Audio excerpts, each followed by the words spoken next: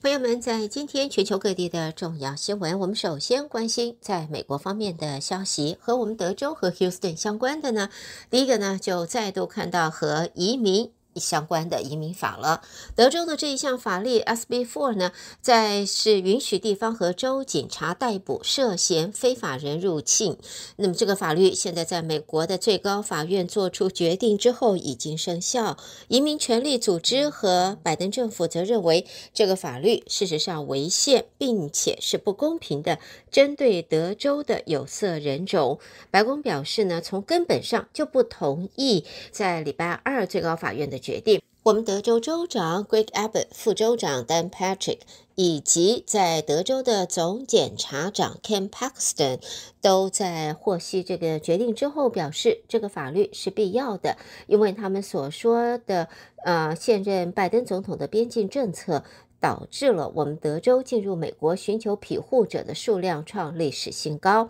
而在总检察长就是 Ken Paxton 在获知了。的就是最后的决定之后呢，也就在社交媒体上对这个决定表示了欢呼。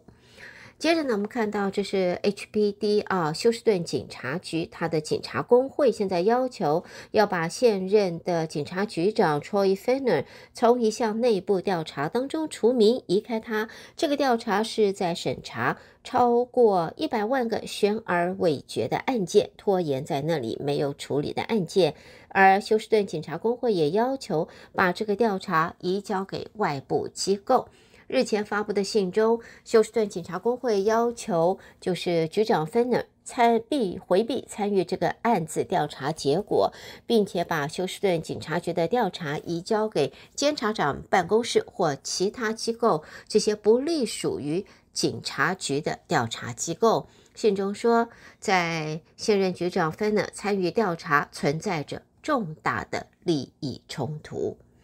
好，接着我们再来看，这个是在我们 Harris County 的一个叫做 Uplift Harris 的保证收入计划，在今年稍早已经正式的启动，它可以为将近两千个收入低于。联邦贫困线百分之两百的家庭提供每个月五百美元的这个补助，为期一年半，十八个月。低于联邦贫穷线百分之两百，相当于四口之家的年收入是最高六万元啊。根据哈里斯县 （Harris County） 公共卫生局说，已经被核准的个人。啊，将有四个礼拜的时间，在 online 或者亲自来完成这相关计划的登记注册。预计呢，第一笔款项会是在四月下旬可以发放。在哈里斯县公共卫生部门规划的新任总监 Brandon Maddox 他说：“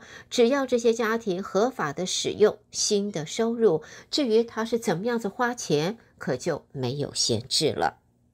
接下来，我们把这个焦点转到其他方面，美国的新闻。先看到国务卿布林肯这个礼拜要访问中东，他的目标是要达成以色列和巴勒斯坦激进组织哈马斯之间的停火协议，并且要确保哈马斯扣押的以色列人质可以获释。布林肯访问菲律宾的期间就说了，此行将会会见沙地阿拉伯和埃及的高层，目的是讨论区域持久和平的正确架构。在全球饥饿监测机构粮食安全阶段综合分类则说，加萨走廊部分地区现在极度缺粮，已经超过饥荒的等级。如果不立即停火，并且向因为战事而被切断地区大量的运入粮食，大规模的死亡。将迫在眉睫。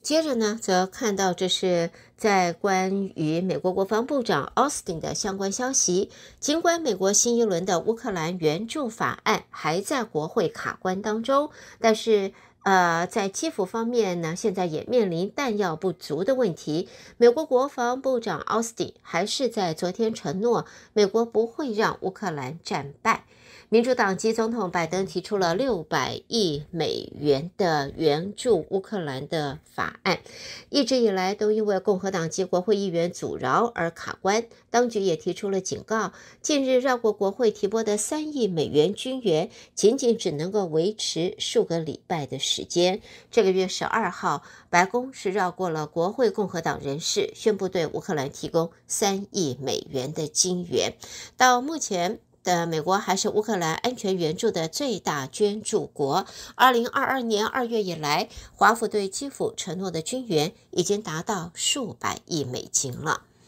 另外呢，在这里看到正碰到中国积极的试图要拉这个美国的盟友啊挖墙脚之际，美国官员在昨天说，近期获得批准。为三个具重要战略意义太平洋岛国提供七十一亿美元的法案，这是美国做出承诺的重要迹象。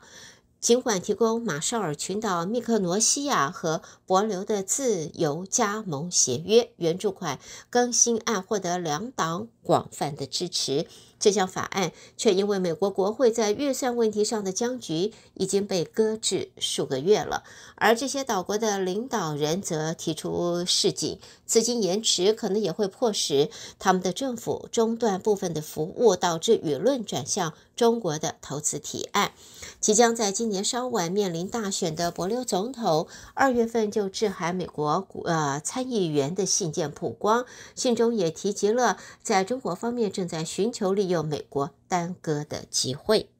而现在再度看到美国官员强调，在近期获批准为三个具重要战略意义太平洋岛国要提供这个金援法案，是美国做出承诺的重要迹象。下边我们看到来自迈阿密的消息：美国前总统川普执政时期，白宫贸易顾问纳瓦洛因为拒绝到联邦众院特别委员会作证，来配合2021年国会大厦遇袭案的调查，在一月因为藐视国会遭判四个月有期徒刑之后，昨天开始入狱服刑。他成为入狱服刑的川普政府最高阶官员，也是第一位因为。藐视国会入狱的前白宫官员，现年七十四岁的纳瓦洛曾经是哈佛的经济学家。他拒绝作证，或者是向这个由民主党主导的委员会交出相关文件。华府的联邦陪审团是在去年裁定两项藐视国会罪成立的。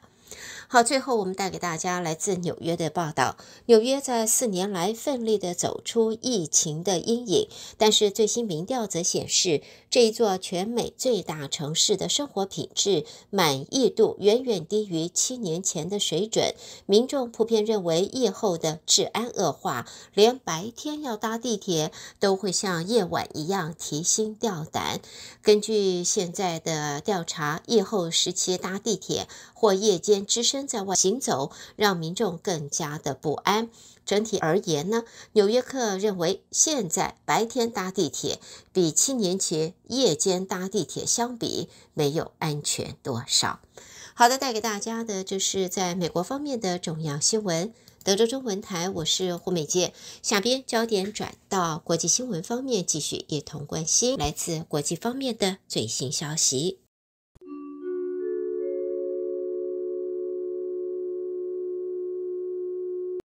在我们国际方面新闻，首先第一个看到欧洲联盟外交和安全政策高级代表博瑞尔，昨天他说将会提议欧盟使用俄罗斯在欧洲被冻结资产所产生收益的百分之九十的资金，透过欧洲和平机制。基金来为乌克兰购买武器。波瑞尔是在布鲁塞尔对记者表示，他也将建议把剩余的百分之十的收益转入欧盟预算，用于增强乌克兰国防工业的能力。波瑞尔说，将会在二十一和二十二号举行的欧盟领袖峰会之前，在二十号，就是今天，向欧盟成员国提出这一项建议。俄罗斯在西方所有的固定资产中，大约有百分之七十存放在最大的托管机构——比利时欧洲清算银行当中。这个银行拥有相当于一千九百亿欧元的各种俄罗斯央行证券以及现金。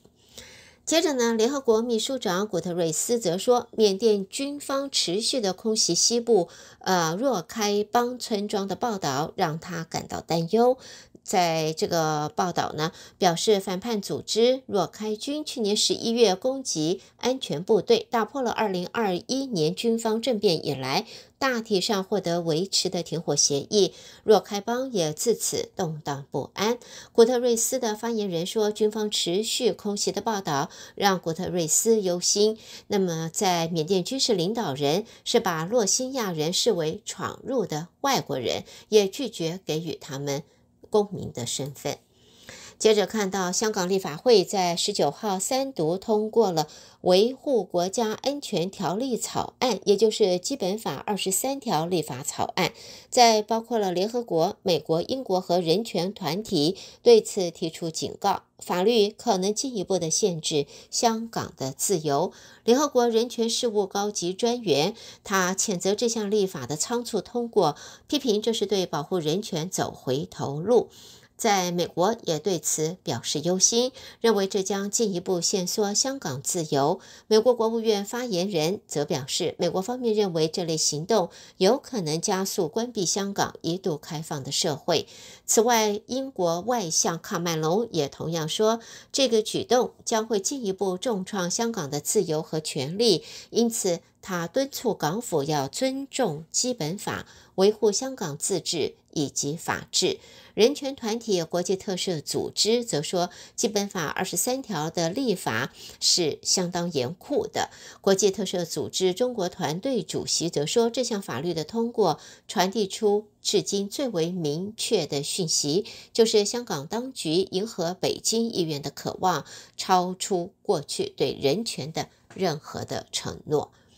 接着呢，我们再看呢，印度的外交部，他在日前指出，中国对阿鲁纳省察提出的荒谬主张，强调这个和中国接壤的东北省份将是永远是印度完整而且不可分割的一部分。中国当局说，阿鲁纳察省是藏南的一部分，新德里则拒绝这种说法，强调的是阿鲁纳察省向来就是印度的一部分。接着我们再来看圣保罗的报道，巴西的登革热疫情相当严重，今年到目前已经通报了一百八十八万九千两百零六例的确诊和疑似病例，其中包括了五百六十一例死亡。根据巴西卫生部的数据呢，呃，另外还有一。千零二十例疑似感染登革热死亡。登革热的疫情肆虐，在巴西圣保罗市已经宣布进入了，就是全市进入紧急状态。巴西卫生部说，登革热的病毒一抗原型可分四种血清型病毒，血清型一在巴西最常见，所有州都有病例，而二型则在二十四个州和巴西利亚联邦特区出现。目前为止。只有米纳斯吉拉斯州同时出现四种血清型病毒，其中血清型二和三是很可能引起神经系统的问题的。最后，我们再看到的呢，这是日本的消息：日本东京电力公司派出无人机深入福岛核电厂的一座严重损坏的反应炉之内部。无人机拍摄的影像虽然可以见到设备移位和材料变形，但是还是有诸多的问题没有获得解答，凸显的是核电厂除役的艰巨任务。在东电公司公布为微型无人机拍摄的十二张画面，呃，这个照片是东电首次从受损最严重的一号反应炉主要为主舱基座内部拍摄到的画面。为主舱基座位于反应炉蕊的正下方，而官员也一直希望能够深入这个区域检查反应炉蕊和融化的核燃料。在现在呢，无人机拍摄到的高解析度彩色照片，可以看到各种不同形状、大小的棕色物体悬挂在反应炉底座不同位置。在官员说呢，呃，在未取得辐射量等其他数据的情况下，从这些照片当中是没有办法判断悬挂的块状物是融化的燃料还是融化的设备。由于尾组舱过于黑暗的关系，无人机的镜头是没有办法看到反映这个炉蕊的底部。由于技术障碍和缺乏资料的关系，福岛核电厂的除役过程已经延宕多年了。朋友们，带给大家这是在国际方面的新闻。德州中文台，我是胡美杰。在美国和国际新闻之后，我们要在这稍微休息一会儿，稍后我们再和朋友们一同关心，将是来自两岸方面的重要报道。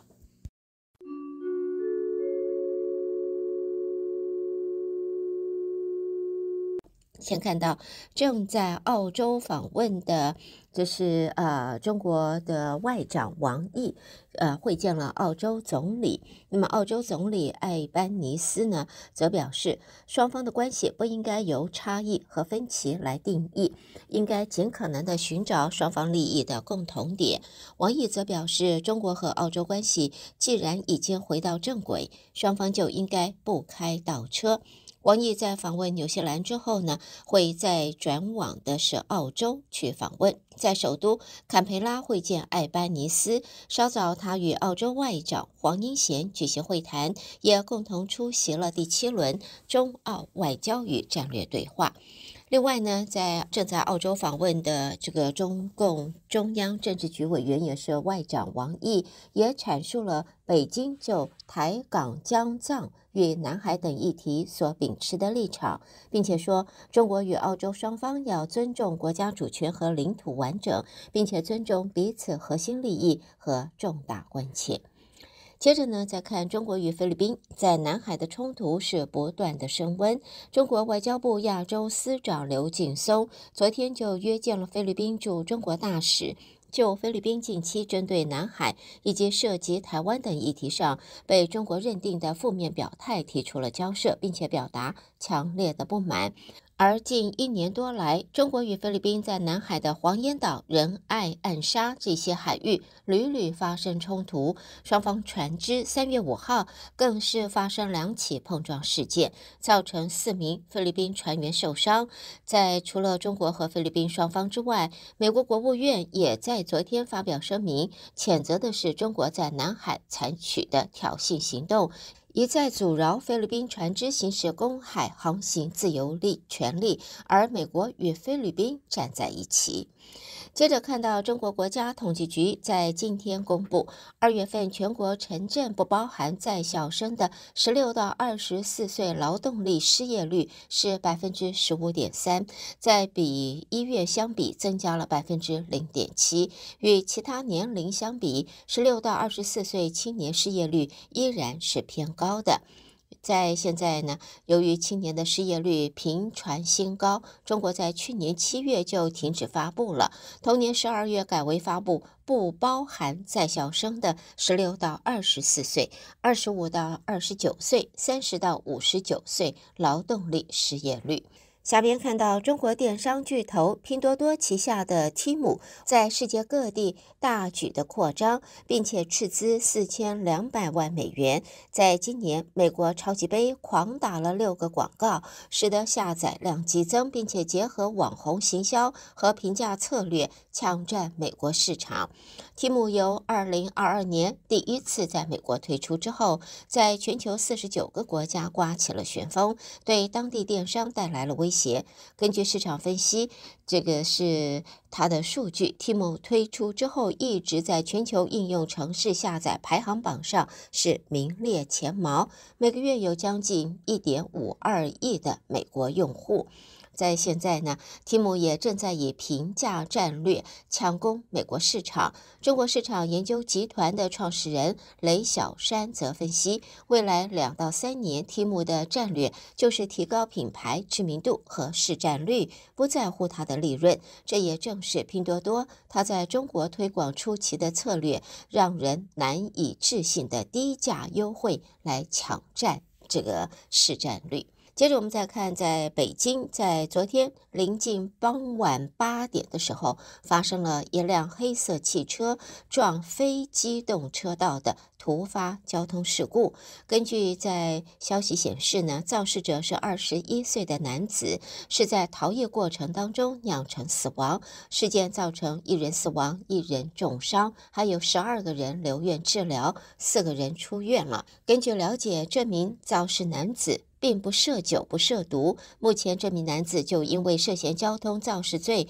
被依法刑事拘留，事故处理和善后工作正在进行当中。下边我们看到，这是来自河北邯郸的报道，在邯郸初中生被同学残酷杀害的事件，震惊了中国社会。存在已久的农村留守儿童问题再度被关注。分析则说，案件背后显示的是社会、家庭与教育等机能全数的丧失。同时，大众对于农村留守儿童心理健康的关注是绝对不够的。而所谓的留守儿童，是指因父母前往城市工作而被留在家乡，并且寄宿在亲戚家中，长期与双亲分居的儿童。许多的研究都显示，留守的儿童和少年中，不少人就会因为缺乏应有的家庭关爱，身心成长受到了诸多不利的影响。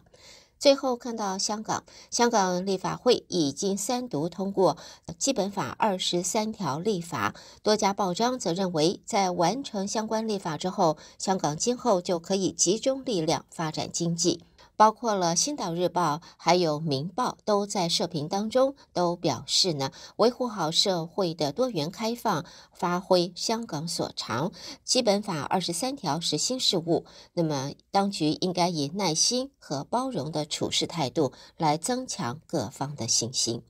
带给朋友们的就是在中国方面的报道。收听的是德州中文台，我是胡美健。下边焦点将转到台湾方面，和我继续一同关心。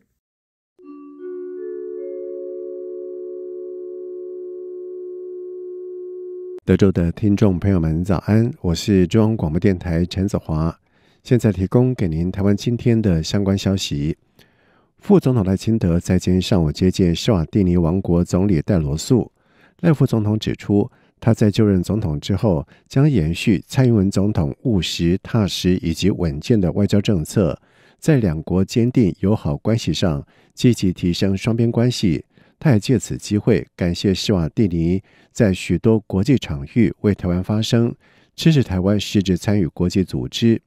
副总统表示。面对近期国际供应链持续重组，资通讯科技是台湾的优势，台湾非常乐意分享经验。未来新政府将会持续推动两国资通讯合作发展，也会全力支持使国政府近期推动的战略除油槽计划以及其他交流合作计划。赖清德说：“相较中国，台湾对于使国的承诺都是具体、可兑现的计划，且有深厚长远的历史。”可以证明我国的支持坚定不移。我们对于拥有使国这样好朋友、好的国际伙伴以及真切的国际友人，要再次表达感谢啊，跟荣幸。而戴罗素在致辞时则是强调，在赖清德就职总统之后，施瓦蒂尼对台湾的支持不会动摇。他此行就是为了重申施瓦蒂尼与台湾的外交承诺。同时，戴罗素也指出。台湾技术团正在协助新建十国国际会议中心以及五星级旅馆，希望能在今年底完成。台湾证券交易所和台湾碳权交易所也在本月初分别和施瓦蒂尼证券交易所签署合作备忘录，这是两国资本市场的重要里程碑。另外，十国政府也期盼与台湾建立灾害与风险管理方面的合作。针对在野党欲请蔡英文总统视察太平岛一事，外交部长吴钊燮今在立法院受访时表示，太平岛属于中华民国领土，不容置疑，政府会持续捍卫太平岛的主权。未来若有机会，将透过最好的方式伸张我国对太平岛的主权。吴钊燮在答询时则是明确指出，南海地区目前战云密布，总统在此时访视太平岛时机并不合适。他并且指出，台湾应被国际社会视为是维持和平稳定的重要角色，而不是制造更多纷扰。吴钊燮说：“政府的相关机关一定会去思考，在最佳的时间点之下去做一些比较好的事情，或是做最好的事情。那这个就必须要由国家的 timing 来衡量。目前的 timing 是不是？目前的 timing 是不合适，因为我们看到的南海地区真的是战云密布。而至于立法院外交及国防委员会召委马文君规划五月安排立委考察太平岛，吴钊燮受访时回应表示。立委挑选某些时间点去做他们所谓的登岛跟主权宣誓，外交部虽对此有些疑虑，但是这是立委行使立法权的一部分。另外，国民党立法院党团总召傅昆奇在今质疑蔡英文总统不登上太平岛是放弃主权以及周边的经济利益，并且表示若蔡总统不去，在野党有必要捍卫国家尊严以及领土完整。而民进党团干事长吴世尧则是强调。政府捍卫太平岛主权从未动摇，但在国际情势升高的此时，要求总统前往，究竟是为了太平，还是蓄意制造不平？首梯一期一年义务役陆军第二二六梯一男，历经近八周的入伍训练之后，在十八号开始展开为期五天的期末监测。陆军步兵三零二旅的一男间持续进行期末监测。一男在无惧 TNT 炸药爆炸以及机枪射击声下，依序完成了震撼教育等九项的状况处置。陆军司令部在前邀请媒体到台中成功岭营区采访一男入伍训练期末监测的实况。陆军表示，首批一年期义务役一男在十八号到二十二号进行为期五天的期末检测，以验证入伍训练的成效。而其中期末检测的步枪实弹射击占监测成绩达到百分之三十，而且实弹射击测验项目不合格，即判定总成绩不合格。步兵三零二旅的一男在步枪实弹射击的合格率达到了百分之九十五。而首批义务役入伍接训营长陆军步兵三零二旅步二营营长洪新志中校在今天受访表示，一年期义务役在入伍训练时。提高步枪实弹射击训练的射击发数，让一男在射击训练的过程当中更熟悉，使得射击的稳定度提升，畏惧感下降，并且具体呈现在期末监测的合格率上。桃园国际机场在日前进行南跑道岁修，却因为规划不周，酿成航班大塞机，引发了民怨。而对此，桃园机场公司在今公布的检讨报告。除了提出建立跑道维护机制并专案管控，同时强化沟通协调以及资讯传递等经济作为，也将针对公司内部十人记出最重记过两次到申诫一次的不等处分。至于董事长杨伟甫以及总经理范孝伦，也将向交通部自请记过一次。淘机公司董事长杨伟福在二十号再度针对三月初的跑道岁修导致航班延误转降。向旅客以及社会大众致歉，并且坦言相应管理协调工作不足，因此在深入检讨分析之后，提出一系列的改进措施，包括强化机场管理机制、加强横向协调沟通、提升宣传以及资讯公开透明度，并且加强行政作业管控，同时也对相关人员就责惩处，以确保类似的事件不再发生。另外，针对旅客的权益方面，机场公司也在上个礼拜邀集了四家国际航空讨论。由于旅客受影响情况不同，航空公司将先依据纠纷调处办法及运送契约妥善处理。目前统计到十八号为止，提出申诉的旅客共有三百五十件。后续机场公司也将在邀集航空公司进一步的检讨。一岁多男童凯凯遭到保姆虐死案，引发了社会的哗然。而其中刘姓保姆聘用的外籍义工录影搜证的影像，成为了检方定罪的证据。民进党立委刘建国在今天在立法院未还委员会质询时询问，这位保姆十年内换了十名义工，劳动部觉得这个状况正常吗？劳动部长许明春回应表示，应该列为高风险去访式。他说：“这十年换十个呢？”你来挂秋收的圣圣节吼，不是一年一次呢，不到一年就换一个了嘞。以后这个这种频繁的，我们应该要高风，应该要列为高风险去访视啊。它真的是高风险。今天如果我们有预警到这个事情啊，是不是这个雇主是保姆有虐待外籍义工？对，其实凯凯事情可能就不会发生呢。我我报告委，谢谢您。我们这边会来加强访视哦，我们的访查员哦，我们会针对这种频繁换移工的家那个雇主哈，来加强那访视。同时，刘建国也直言，这起的案件不是没有被社会安全网接住，而是接住了，但是出了状况，需要多面向的去检讨。他也建议卫福部可以设计保姆住居 logo，提醒需要宁静的环境，也提高邻居的警觉性，能够提前预警。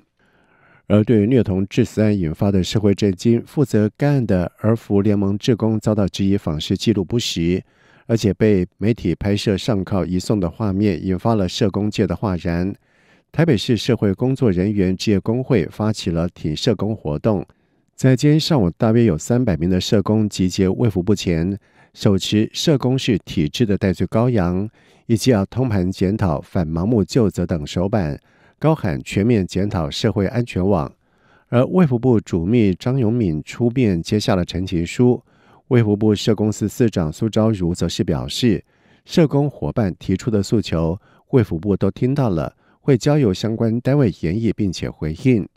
而卫福部在事后也发出新闻稿表示，对于安置儿少或全日托的个案，因为缺乏亲人看照，因此应该针对个案属性跟风险程度，建立完善的访视以及监督机制。而卫福部预计在四月底前。要及地方政府召开会议，共商访视频率。而至于此案件受害儿童以及社工的个人隐私被网络肉搜，这涉及到网络数位化以及媒体自律等议题的规定。卫福部预计在最近一次行政院涉安网跨部会沟通平台会议当中提案，寻求各单位一起重视和应应。以上就是今天台湾的相关消息，提供给听众朋友。接下来把时间交给主持人。